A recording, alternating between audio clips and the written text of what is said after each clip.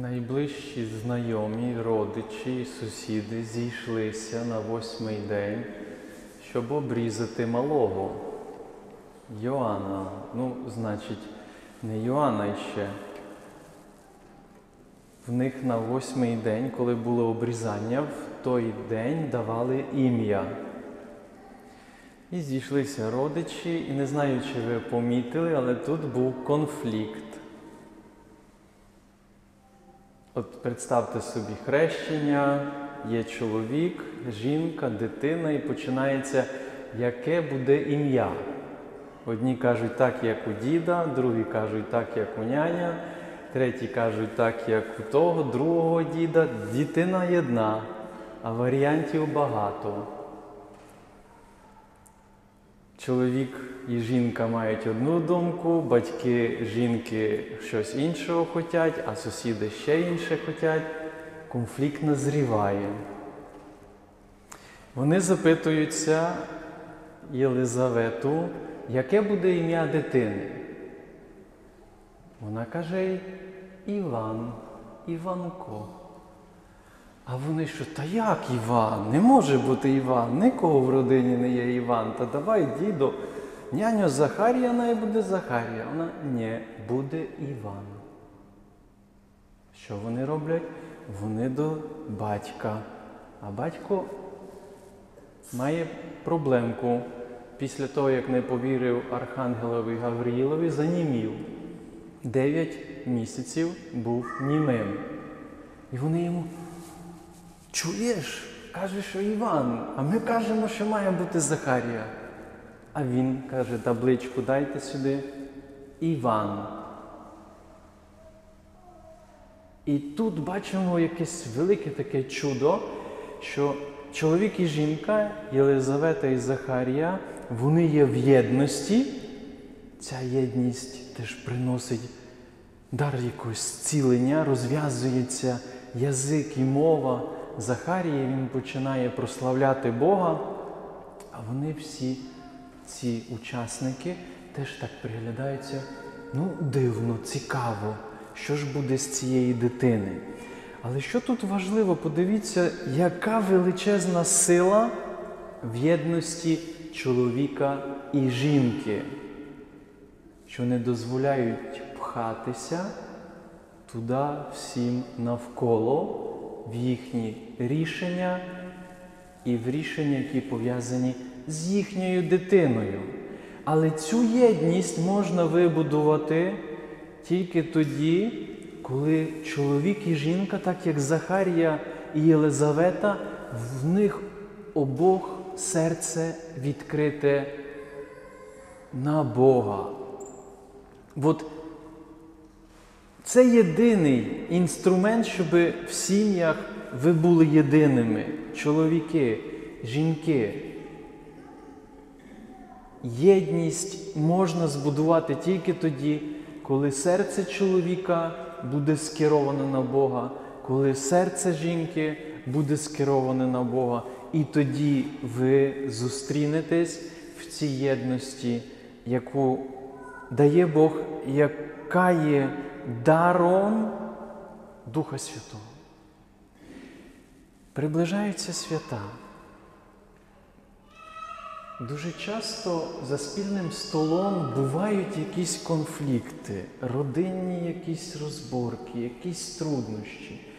Це все із-за того, що бракує реально глибокої присутності Ісуса Христа. Ми не зможемо змінити нікого. Нам потрібно вкладати особисто зусилля. Натомість чоловік і жінка, в першу чергу, ви би мали бути щирими і відвертими один з одним. Постійно повертатись до цього запитання, особливо ви, які ходите в храм, ви, які молитесь, сповідаєтесь і причащаєтесь. Вам постійно потрібно прояснювати один одному, а де в цьому Ісус? Де в цьому Ісус? Де в цьому Господь? Бо якщо його там не буде, ви будете сваритися, бо ви хочете свою волю пропхнути. чи волю тата, няня, мами, завжди хтось буде втручатися і лізти. Жінка в першу чергу завжди має захищати автономію того, що стосунки з чоловіком мають бути на першому місці. Не мамину волю виконувати, не няньову волю виконувати, не лізти до чоловіка, бо щось хоче мама. І навпаки, чоловік теж завжди має захищати в першу чергу пріоритет, що жінка і стосунок його жінкою на першому місці. Не мами, не тата. Отак як Захарія сьогодні з Єлизаветою поставили родичів і знайомих на місто, сказали ні. Ми розпізнали, Бог сказав, Йоанн має бути, подобається вам чи не подобається, так ми розпізнали для себе волю Божу. І тоді, навіть якщо їм не сподобається, ви досвідчите в ваших стосунках присутність Ісуса. Дуже важливо, дорога молоде, молодь, які плануєте, шукаєте собі чоловіків чи жінок, щоб ви вклали зусилля і знайшли таких чоловіків і жінок, для яких стосунки з Богом будуть найвищою цінністю. Бо неможливо збудувати єдності, якщо у чоловіка і жінки стосунки з Богом не будуть на першому місці. Неможливо збудувати єдності і близькості без Духа Святого. Тому Ісус і прийшов, тому Ісус і займає центральне місце. Цю єдність повертає Ісус для тих, які навертаються до Нього. Які навертаються до Нього. Ми нікого не можемо змусити до цього, але ви, які ще не одружилися і не вийшли заміж, вам потрібно це розуміти, що тим клеєм, тією, тим матеріалом, який може збудувати єдність і дати єдність і близькість майбутньому, це є тільки живий Ісус в ваших стосунках. А ті, які вже знаходитесь в сім'ях, знайте, якщо у вас є конфлікти, скоріше за все, хтось з вас пропихає свою волю в цей стосунок або волю когось з родичів. І тому є конфлікт. Бо якщо би ви впускали туди Бога і шукали Його мудрості, там конфлікту немає. Люди, які впустили Бога в своє життя, вони зближаються і їм добре разом бути.